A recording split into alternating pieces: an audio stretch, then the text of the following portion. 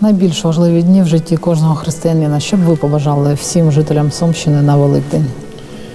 Не забудем, что Великдень, светлый день Христового воскресения, предваряется еще одним великим днем, субботой, преблагословенной субботой, в которой Сын Единородный Божий, совершивший дело нашего спасения и искупления, почил от дел своих. Как некогда Бог совершил весь этот мир, видимый в шесть дней, шесть периодов особых, а в седьмой день почил. Кстати, суббота день седьмой, это не шестой. Седьмой – это день седьмой. А на нынешнее воскресенье – это день первой недели. И в то же время это день и восьмой. Христос воскрес в этот день после субботы. Он и первый день, на начало творения, он и восьмой символизирует будущий, вечный век. Недаром даже в арифметике вот, бесконечность изображается восьмеркой, на- напоминая нам о том будущем бесконечном веке, не воскресенье. В этот день субботы Христос действительно лежит телом в гробу, душа его сходит в ад, и оттуда выводит всех праведников, всех ветхозаветных праведников, которые ждали его пришествия. И вы знаете, этот день субботы приблагословен день особого покоя. Мы все суетимся, суетимся в этих наших земных делах, наших заботах. Хотя бы в этот день Сын Божий лежит телом в гробу. Остановись, человек. Не суетись, подумай о том, что Господь сделал ради тебя.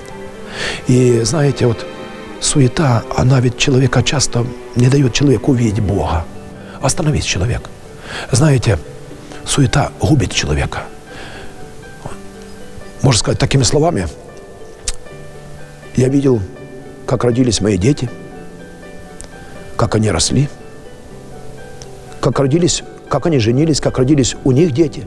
Я еще успел видеть, как подросли дети их детей, а больше ничего не увидел, потому что я умер, так и не увидевший собственной своей жизни. Вот это так бывает, проходит, и она пролетает жизнь наша, мы так и за этой суетой и не увидим своей собственной жизни. А она будет неизбежно встречен, наша с Богом. Хотим того мы или не хотим.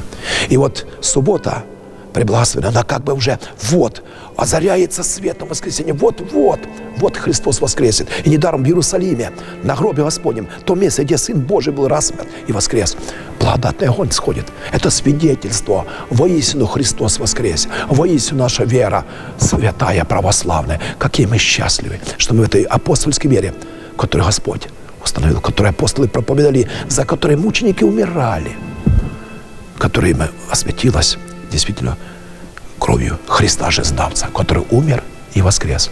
И вот Пасха – это праздник из праздников, торжество из торжеств, это победа жизни над смертью. Это действительно обретение смысла жизни человеческой. Если Христос не воскрес, говорит апостол Павел, тогда и все, все тщетно.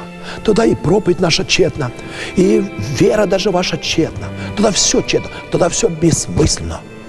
А если Христос воскрес, как оно и есть на самом деле, то как же замечательно, как на душе прекрасно. Помните, был такой, по-моему, в 90-х годах фильм «Храм», и там женщину э, спрашивают, который, ну что, вот теперь вы уверовали, вы стали счастливой? Она говорит, не то слово счастливой. Я раньше существовала, а теперь я живу. И Христос говорит, живу я, и вы будете жить. Вот это есть подлинный смысл. Не существовать, а жить. Поэтому Христос воскресе, братья и сестры. Поэтому всем пожелаю этой радости вечной, осознания смысла своего бытия. Когда человек осознает свой смысл бытия, он пройдет любой гулаг, любые никакие скорби, никакие гонения, ничего не, не сломит. А когда человек без смысла, то элементарная ангина его раздавит. Вот и в наше время, когда сейчас сколько страху, сколько переживаний, воспрянем духом, братья и сестры. Христос, Он воскрес. И Иисус Христос и вчера, и сегодня, и во веки тот же. Дай Бог, братья и сестры, обретения нами веры. Вера – это, это стержень нашей жизни. Я всем нам желаю этой веры, этой радости духовной, этой любви. Обнимем друг друга, простим друг другу все, может быть, обиды, как церковь призывает. Воскресенье день. И просветимся торжеством. Будем детьми Отца Небесного. Поэтому Христос воскресе.